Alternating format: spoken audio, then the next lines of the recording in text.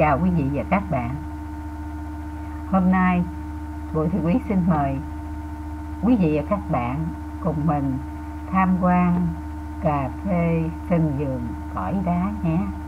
Thân chúc tất cả quý vị và các bạn có một ngày thật an vui, hạnh phúc và như ý nhé.